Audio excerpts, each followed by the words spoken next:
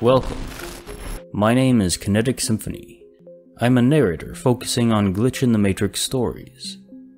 Let's get into it. Story title I was an inch away from my dad, then he got home five minutes later. Author name Lost in Protease. This happened to me about a year, maybe a year and a half ago, and to this day I still can't quite say what happened. I was in my room. I was browsing the internet while I had a head of garlic roasting in the toaster oven in the kitchen. Then I heard my dad come inside, so I figured I could kill two birds with one stone and say hi to my dad while I went to check on my garlic. I walked out of my room and caught my dad halfway down the hall. I said hi and something along the lines of, Gotta go check on my garlic. My dad simply replied with a quick hi and walked straight to his room. I didn't think too much of it and just figured he had a long day at work. It should be noted that our hallway is narrow and my dad is much bigger than me.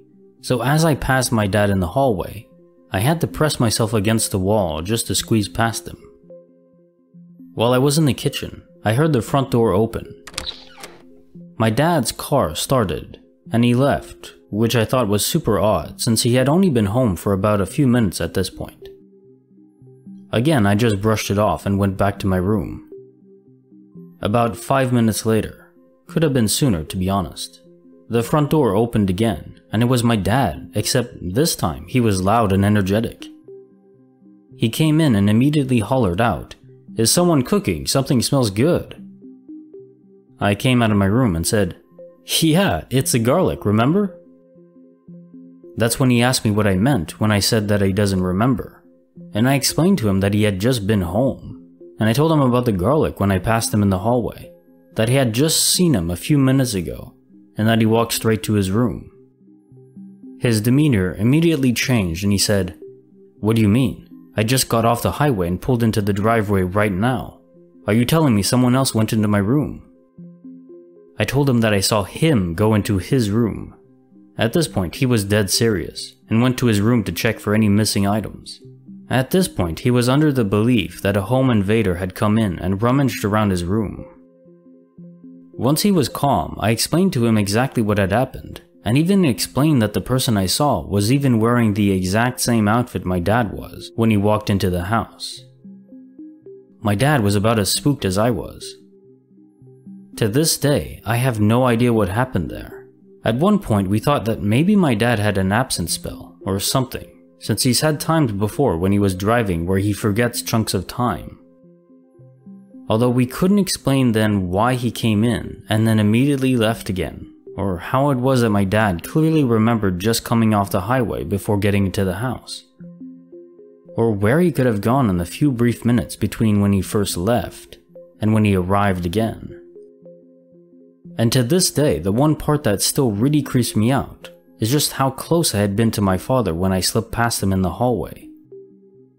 If anyone has any ideas of what might have happened, I'm all ears.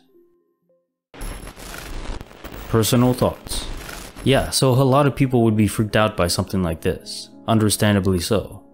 But reading this, I just get excited. I'm not even sure why. The details are all there, and very clear. You saw your dad, and you couldn't mistake your dad for an actual home invader, given that you had to pass by him so closely in a narrow hallway. So, per your perspective, it absolutely was your dad. I assume nothing was missing, yeah? So it can't be some clever invader that somehow mission impossibled his way to your dad's room, with a mask of your dad or something. I think maybe this could be forward projection. Your dad's soul or essence never a good word for what I mean, pushed himself forward a few minutes. Why or how, I have no idea. So another thing I just thought of. Some physicists have this hypothesis that the whole universe has already played out, that time itself is an illusion, or rather the progress through time is. Every frame of reality has already been imprinted.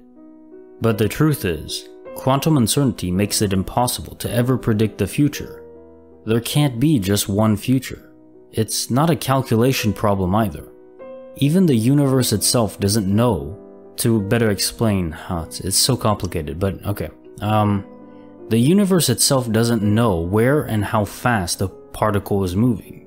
So particles are thought to be just, um, you could say excitations of different fields. An observed particle is a field that's been interacted with, which collapses the waveform. And you could say the, the waveform more like uncertainty. In doing so, the universe decides in that specific moment of interaction the properties of that particle. There's no hidden variables baked in. Thus, there's no information to use to calculate one singular future. If we had godly knowledge and could measure every single particle that currently has their waveform collapsed, without affecting them, any measurement also requires interaction, which changes the properties of the observed particle. Even then, we couldn't predict one future, because all the particles that have not yet have their waveforms collapsed are there, in limbo, I guess. Even the universe doesn't know their properties yet so God would be at a loss. So perhaps you managed to see a few future frames of a possible future. One where your dad was down, lethargic, removed. Maybe something bad happened to him at work in that future, but not the one you currently occupy. Sorry for the tangent there, kinda just poured out. I've always been fascinated with science, especially the world of the quantum because it's so. it's almost ethereal. Or it's just maybe the fundamental processing layer of our universe, if it is a simulation. Second story.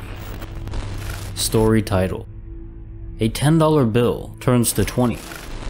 Author name Zombrezo. This happened to me today at work, and as soon as I did, I knew that I needed to post about it here, now that I have the free time. I want to talk about something that left my coworker and I absolutely dumbfounded. To preface this, I want to say that I work in fast food, on an assembly line, where we make things in front of the customers. There's usually one or two of us in our shift, and luckily today I had someone there to confirm that I was not, in fact, crazy. As many of you know who work in fast food, it's not uncommon for customers to think their actual total is less than it actually is, or to try to short you. That happened today when a customer order came out to 1656 and he only handed me a 10. I took the bill, but I told him that I still needed the $6.56. Mind you, my coworker was standing next to me, bagging his food. He reached into his wallet to grab another bill, but stopped and looked at me and said he gave me a 20. When I looked back down, well, what would you know? It was a 20. I was way, way confused, but I rang him up and let him leave and rushed back to talk to my coworker about it. Before I could even start, he said he had seen the guy only hand me a 10. I couldn't even wrap my mind around it. It just changed in my hand. We both talked about it and he told me that I should probably post about it. So here I am. I think that's all we talked about for the rest of our shift too, because it made us feel so many ways. I still can't fully grasp it though.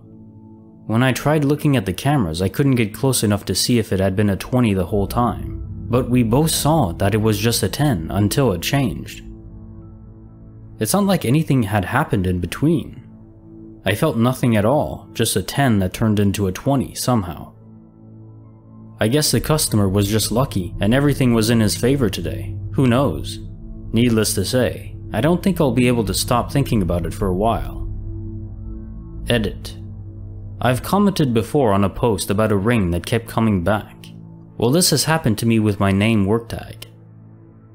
No matter when or where or how I lose it, it always ends up back on my desk at home. It's like it's magnetized over the entire universe and it is always pulled back there. I don't know why, it's my job that follows me everywhere, but I just thought I should add this little detail. Personal thoughts. Yeah, that's a cool little glitch. Your coworker was there and saw it happen too. Exactly so. Otherwise I'd just have said, well, it's probably just a visual mistake. But with your eyewitness there, I can't say that. I'm guessing it's impossible to keep track of that specific bill at this point. Long gone in some bank vault by now. I wonder if it'll switch back into a 10. I also wonder if the customer who handed it to you saw it as a 20, then it morphed to a 10, then right back to a 20 in the span of a few seconds. Hmm. Or perhaps he was just a magician playing a little game on you. I've seen a few YouTubers do something similar to that. If it was a glitch, I'd sure love to figure out how he did it. Wouldn't we all? And that concludes the stories for tonight. I know you liked it, so hit the like button. And if you want more in the future, do subscribe. I upload Monday, Wednesday, and Friday. See you there.